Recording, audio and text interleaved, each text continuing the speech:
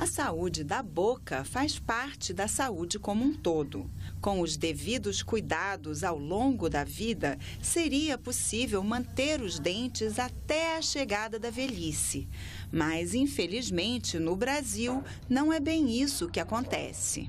A cada quatro pessoas no Brasil, isso lá em 2002, 2003, que tinham 60 anos de idade, a cada quatro, três chegavam completamente sem dentes. 95% da, da, do tratamento de dor de dente, digamos assim, necessita de tratamento endodôntico, tratamento de canal. Né? Dor de dente, às vezes, é um, é um alarme. É, o setor público não oferecia o tratamento de canal. Desde 2004, o programa Brasil Sorridente ampliou o atendimento bucal pelo Sistema Único de Saúde. Mudou essa ótica de se priorizar populações específicas para se dar acesso a todos os usuários do SUS, desde uma, uma remoção de placa, por exemplo, uma limpeza muito mais simples, até procedimentos extremamente especializados, como são cirurgias, por exemplo, ortognáticas.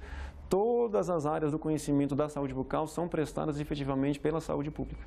O projeto, já aprovado pelo Senado e agora em análise na Câmara dos Deputados, cria a Lei da Saúde Bucal e traz para a legislação o direito ao sorriso. Tem gente, e não são poucos, que para sorrir coloca a mão na frente da boca. Não é normal perder dentes.